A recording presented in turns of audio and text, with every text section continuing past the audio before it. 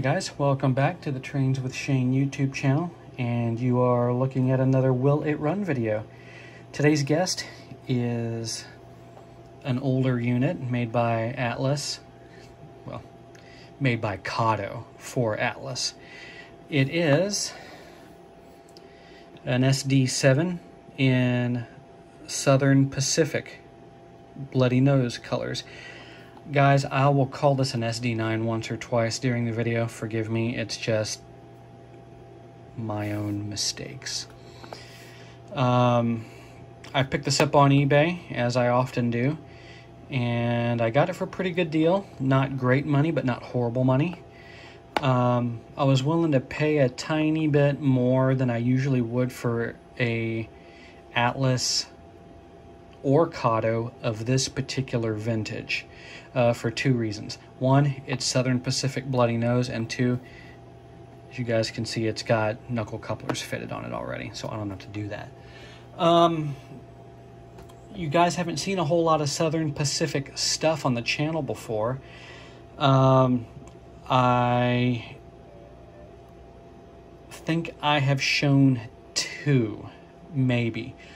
I had a very old Atlas, also made by Kato, um, Alco RS11 in the Black Widow scheme. That was virtually new old stock, ran great. Um, and I also had a Lifelike.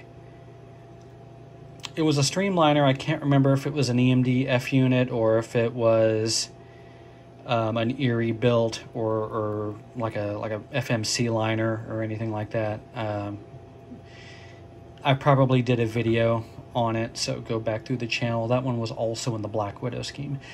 I actually prefer the later Bloody Nose scheme uh, over the Black Widows. Um, I don't know why. It's just I like what I like.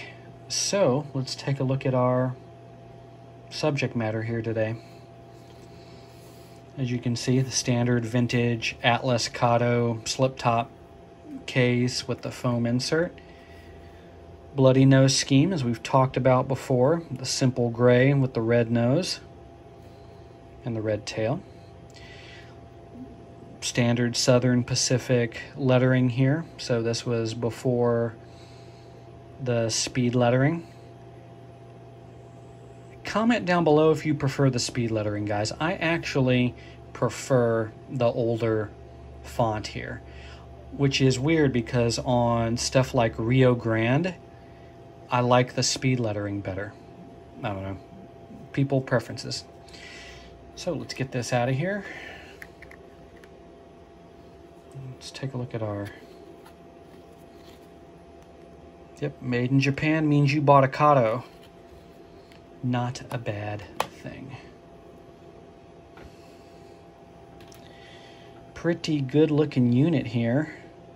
Does not appear to have a lot of runtime on it. Is that like an oily spot or is that a drop of glue?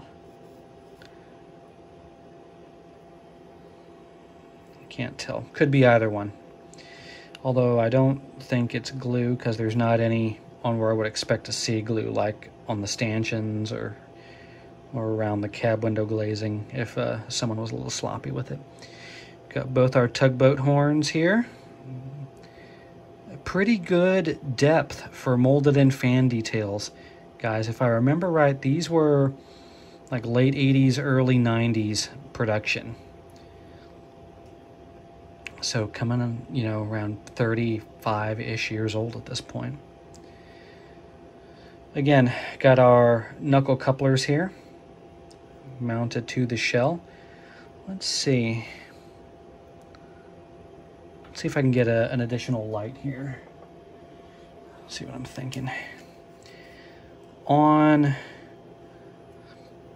certain older units, the Micro-Trains conversion, you would saw off the front of the the truck where the coupler was mounted prior and glue in a draft gearbox onto the shell. I can't tell if that's what was done here or if the couplers were shell mounted from the factory.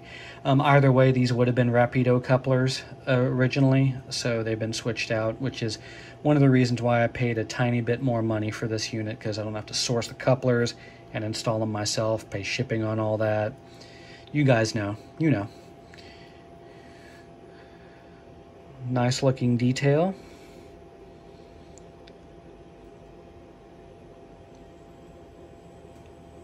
Looks like, yeah, there are a number of boards in there. They, uh, they look void of numbers, though. What about on the front? Maybe.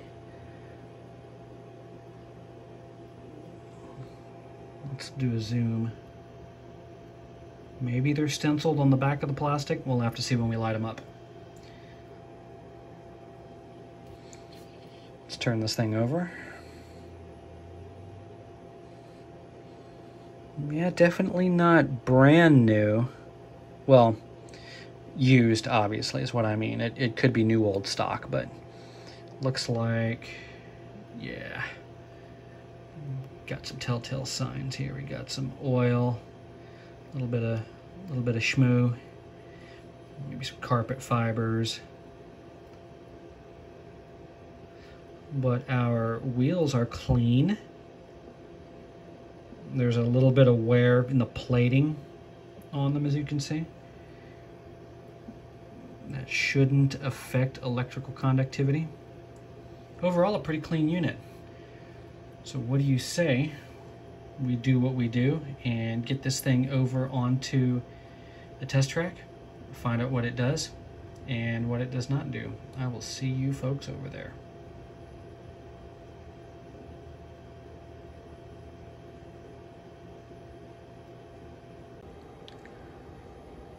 Alright guys, as you can see, we have put the SD9 on the the portable switching layout that I got from Steve's Trains. Got our controllers on already. We'll pick a direction and dial up the juice.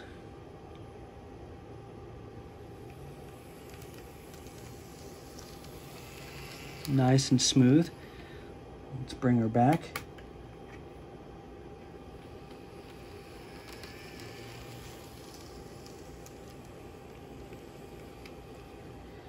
Runs like a sewing machine. Do you expect anything else from a as new looking Kato, even if it is 15 or 20 years old?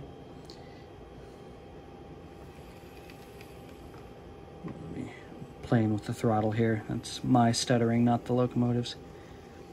In the camera, you can see that the lights flicker a little bit. That's probably due to my dirty track here.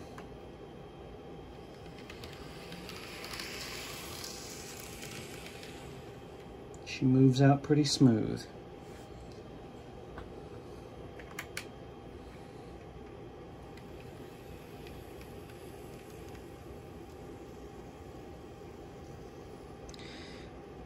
So, Southern Pacific Bloody Nose SD9 by um, Atlas Kato. Um, will it run? Yes, it will. I look forward to running this around on the rescue layout eventually. Um, I've got plans for another layout coming up, maybe. We'll have to see how that goes. But it is such that the radius of the curves may be too tight for six-axle uh, locomotives. We'll, we'll give it a test and see because some of them actually work on the real small radius stuff, amazingly. So, until next time, I want to thank you guys for watching another Trains with Shane Will It run video. Until next time, stay safe, and I'll see you soon.